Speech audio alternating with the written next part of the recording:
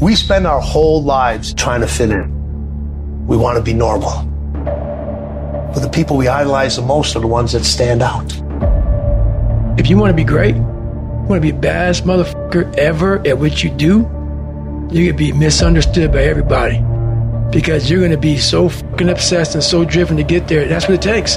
When you are misunderstood to the point where people think you're psycho and you're nuts and you're this and that, why are you in the fucking gym at one o'clock in the fucking morning? What's wrong? When people don't understand you anymore, you're in that spot of obsession and drive.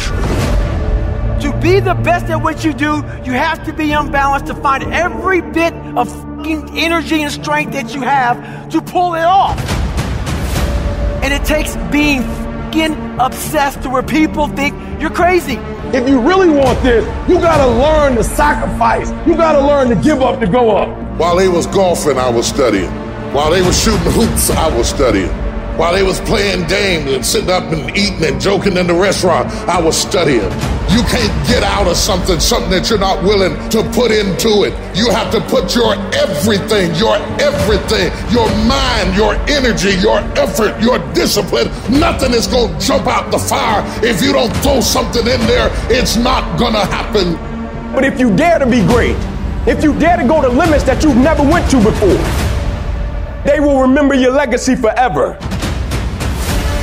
You know what you gotta do to get to paradise? You gotta fight like fucking hell to get to paradise.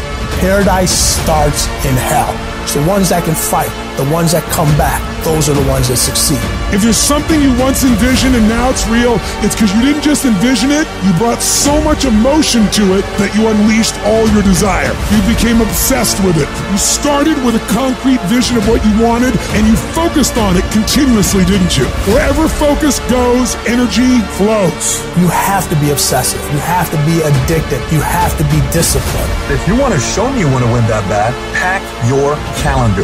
You pack your calendar, that's how you show the world that you want to win because everything is based off of activity. It's mathematically impossible for you not to win at the highest level if your calendar is packed from day till night, every single day, the entire year, day after day after day after day after day without you winning. You gotta work smarter and you gotta work fucking harder. You gotta fucking do both. Those times when you get up early and you work hard, those times when you stay up late and you work hard, those times when you don't feel like working, you're too tired, you don't want to push yourself, but you do it anyway.